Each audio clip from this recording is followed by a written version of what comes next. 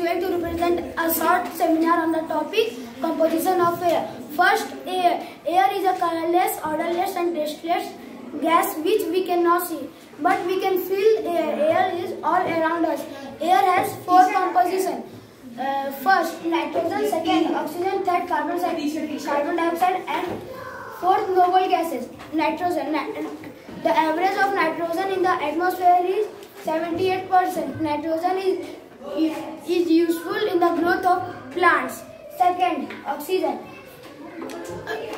Uh, in the average of oxygen in the atmosphere is 21%.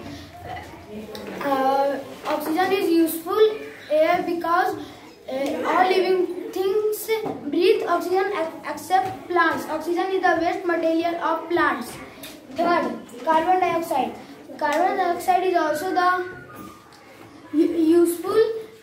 in the atmosphere because because because because uh, uh, carbon dioxide used uh, used by plants plants in the process of photosynthesis uh, and the average of carbon dioxide is 0.03 percent at last, the noble gases. No, noble, ga noble gases include all dust particles, smoke particles, smoke particles, water vapor, except the average of global gases is zero point ninety three percent thank you